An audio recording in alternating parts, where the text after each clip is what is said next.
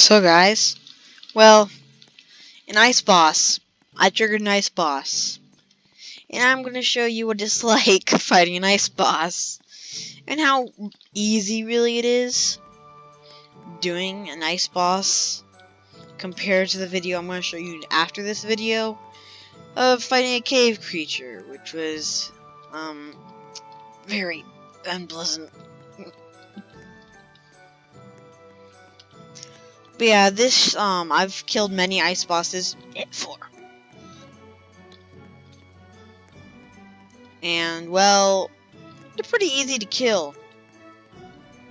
Like, all you have to do is just avoid their little ice beam attacks, and if you get too far away, they'll throw an ice boulder at you. That's just what it is. And occasionally, they'll spin like this. Usually what I do, I just, I just, like, I just go like this. Just constantly hold down my mouse as I click like crazy. Well, I don't click, I just smack them like crazy. I hold down my mouse and then it smacks for me.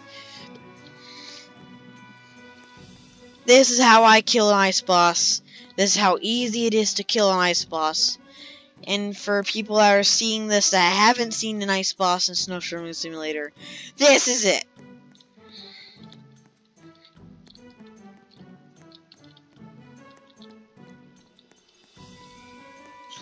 Ugh.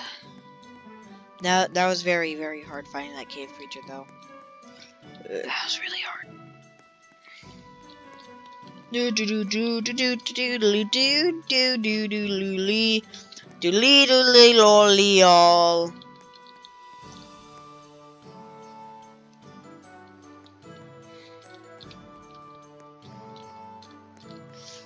Da la la lee do oh what Ah! Get up!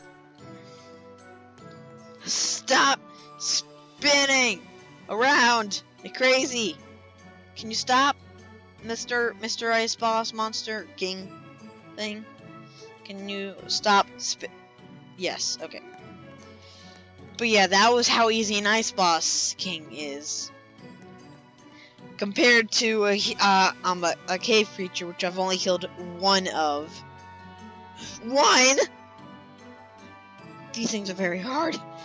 But yeah, that was it for, I guess, this video. Bye.